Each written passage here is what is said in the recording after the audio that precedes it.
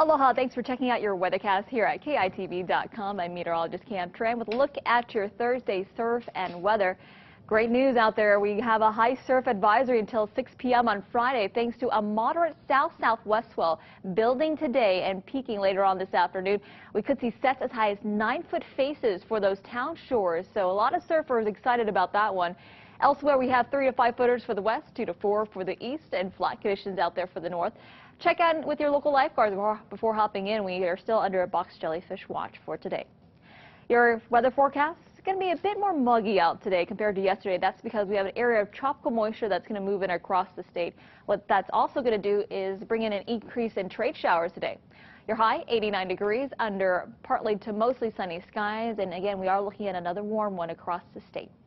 Extended weather forecast showing some drier conditions moving through Aloha Friday into Saturday. And then we've got another area of moisture that's going to move in with the trade. So that's going to uptick those trade showers Sunday into Monday. So if you've got some weekend plans, if you can, maybe make it on Saturday. That's going to look the better of the two weekend days.